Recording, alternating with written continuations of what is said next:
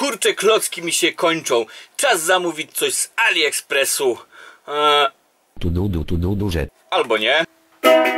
WTF, WTF, WTF!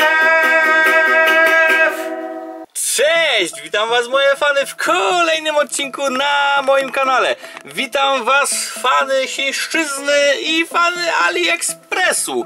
Chociaż z AliExpress, no właśnie moi drodzy, mm, no jak możecie się domyślać, celowo w tytule tego filmu nie ma znaku zapytania. Czy Ali się jeszcze opłaca? No moim prywatnym zdaniem już praktycznie nie. E, moim zdaniem Ali po prostu przestało się opłacać. Już od dłuższego czasu zauważałem, że ceny na AliExpress mocno rosną. Te klocki stawały się coraz mniej atrakcyjne w stosunku do oryginalnych klocków Lego, czy chociażby innych legitnych alternatyw. Mm, Dodatkowo coraz więcej miałem wrażenie aukcji, mm, jakby sobie zaczyna życzyć e, pieniądze za wysyłkę. Symboliczne, ale wiecie, zawsze.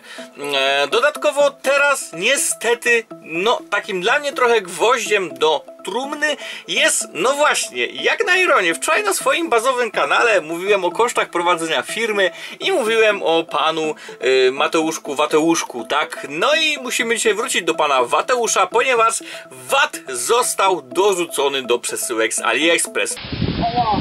Słyszałem od dłuższego czasu te plotki, że ma być dorzucony VAT.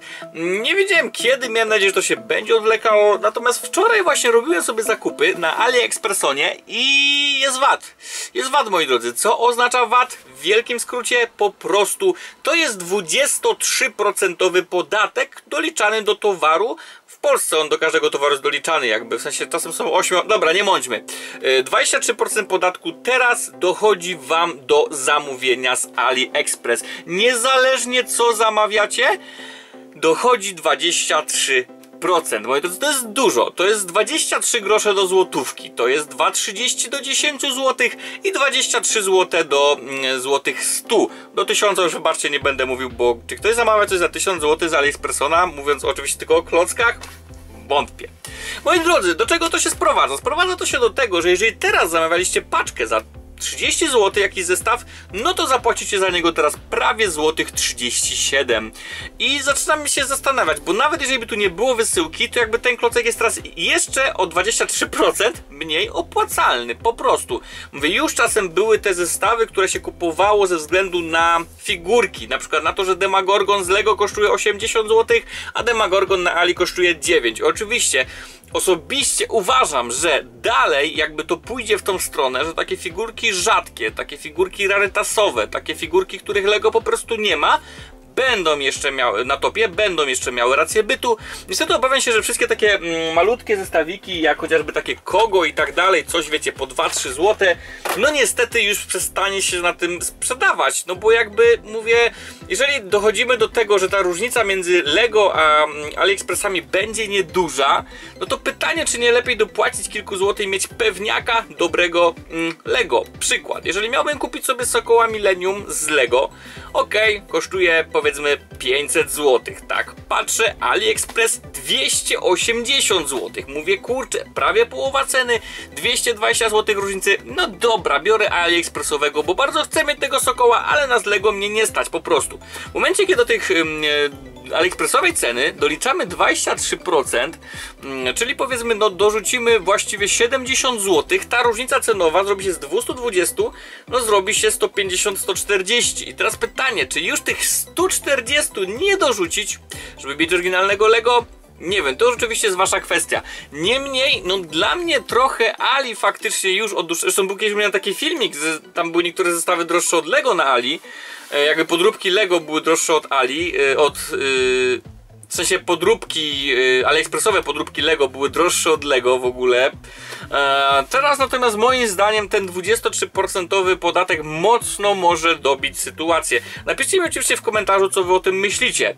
E, czy kupujecie na AliExpress, czy kupowaliście, ale były na granicy, bo dla mnie już od jakiegoś czasu były na granicy i opłaca się tam tylko kupować właśnie zestawy, które z Lego nie wychodzą, albo po prostu, które mm, są w Lego bardzo drogie. Niemniej zwykły klocek, który już cenowo tak naprawdę wrzucił pod cenę Lego, mówię o zwykłym briku budowlanym, nie mam tu, żeby akurat zaprezentować, mm, ale na przykład taki zestaw, eee, powiedzmy, że taki zestaw kosztuje 7-8 zł z figurką, a w Lego dostajemy taki na przykład w polibagu za złotych 14.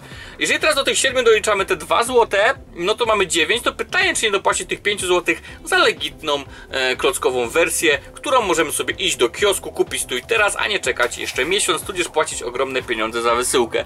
Myślę, że to też będzie ogromna szansa dla takich Mm, firm, chociażby jak, no, Kobi oczywiście też, ale przede wszystkim mam tu na myśli na przykład blocki, które są jak najbardziej legitną alternatywą dla mm, no właśnie Lego. Cen nie mają kosmicznych, a moim zdaniem teraz podobne zestawy z blocków yy, na AliExpress przez ten VAT będą dużo droższe. A blocki nie podrożeją raczej, w sensie, no nie, nie bez powodu, w sensie tego VAT-u, no bo jakby mm, on już był w Polsce narzucony. Więc blocki pozostają na tej samej cenie, a na AliExpress pojawią się droższe zestawy. Uważam że na przykład dla wielu takich firm, które już tu działają lub będą europejskie, to jest też duża szansa. Dla firm, które, proponują, ym, które produkują u nas klocki, które już te klocki u nas od dawna sprzedawały, ale albo były jakieś minimalnie droższe, chociaż akurat blocki nie, ale inne firmy, które dopiero rosną, były jakieś droższe, typu Megablocksy i tak dalej, teraz mogą trochę zyskać, bo ta różnica między nimi a właśnie AliExpress trochę mm, zmalała.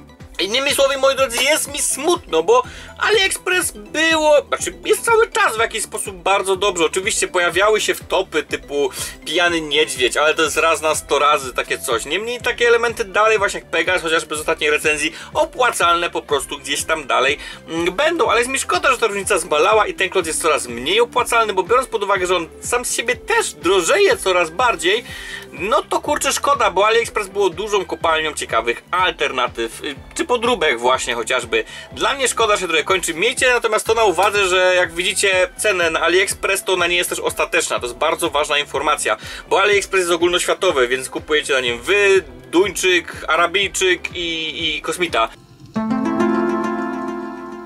więc jakby dopiero przy zakupie, dopiero w koszyku wam się te 23% dolicza, więc jak będziecie naciągać mamy na świnkę Pepe z AliExpress, to pamiętajcie, że do tych 100 zł musicie jeszcze doliczyć 23%, które nie są w cenie wymienione i mama się może srogo zdziwić. Tak jak ja się zdziwiłem, że ten podatek wszedł. Kończę, bo zaczyna lać i w ogóle jak tu przyszedłem to już w ogóle, zanim siadłem do nagrywania to trzy razy lunęło, trzy razy zawiało tak, że po prostu mi zaczął steropian tu latać.